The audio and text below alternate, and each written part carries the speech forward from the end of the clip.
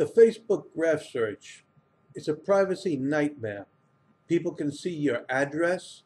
People can track your internet activities.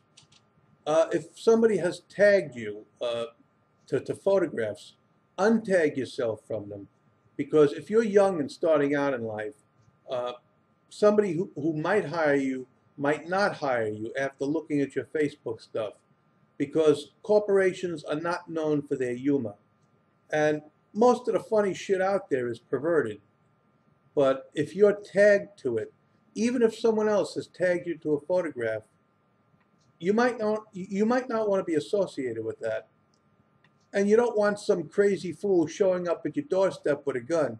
I don't like what you done said about that issue. Pop, pop. So, hey, go in, change your privacy settings if you haven't already.